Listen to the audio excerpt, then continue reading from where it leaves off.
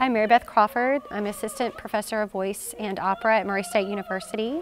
I will be singing with uh, DCINY, it's Distinguished Concerts International New York City. At Carnegie Hall, I'm singing the soprano soloist in the Mozart Requiem.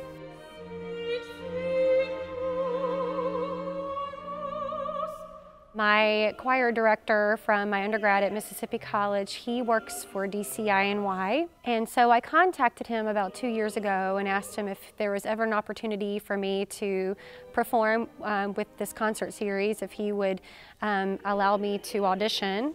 And so about a year ago, I submitted a DVD of myself performing and auditioned for the part. So I got a call last fall saying that um, they wanted to hire me for uh, the Mozart Requiem.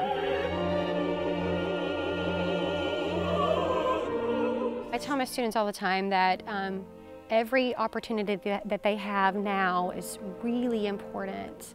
Um, their mentors, their professors, who they interact with professionally, um, even though university life and, and college life isn't so much professional in their eyes, they are forming those relationships. Hopefully it's inspirational for my students as well to know that I'm not just telling them what to do, I'm actually doing it myself.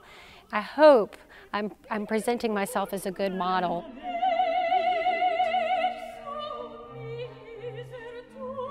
When I think about Carnegie Hall, it's any performer's dream to perform at this venue, so it, it, the prestige of the place is, is really exciting and I'm, I'm very grateful for the opportunity. I'm grateful that people believe in me enough to think that I can do this uh, successfully, so I'm really excited about this particular performance. Am I nervous? A little bit, but I think I'm more, I told my husband today, I'm, I'm just more excited that I get to do this. There have been so many wonderful performers and there's such a rich history in that performance space, so I'm glad that I get to just have my moment there.